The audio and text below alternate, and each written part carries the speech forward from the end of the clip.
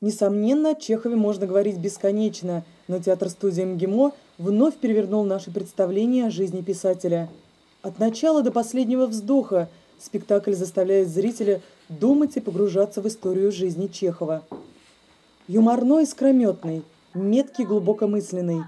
Чехов писатель, Чехов человек. Никакого длинного разговора с серьезными лицами и серьезными последствиями. Только переплетение реальной и вымышленной истории – сцены из пьесы «Три сестры» и письма из прошлого. Так все восхитительно перепутано в жизни сей, а в центре этой путаницы – любовь, побеждающая саму смерть. Ну зачем вспоминать? Сегодня, сегодня тепло. И можно окна держать настежь. А между тем березы еще не распускались. Отец получил бригаду и выехал с нами из Москвы 11 лет назад.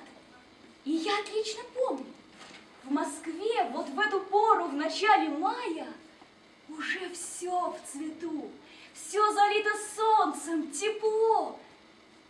Одиннадцать лет прошло, а я помню там все, как будто выехали вчера.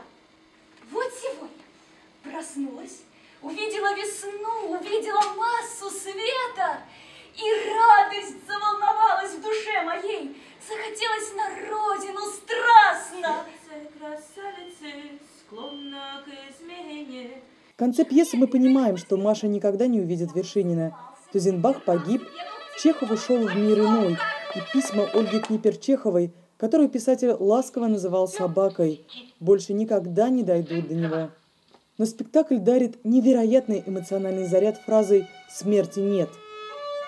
Отдельно стоит сказать о волшебном живом музыкальном сопровождении. Скрипка в руках Дмитрия как будто вводит в глубокий гипноз и позволяет еще полнее ощутить эмоции. Игра актрис завораживает. Эта постановка поистине непростая задача, но актеры с ней определенно справились.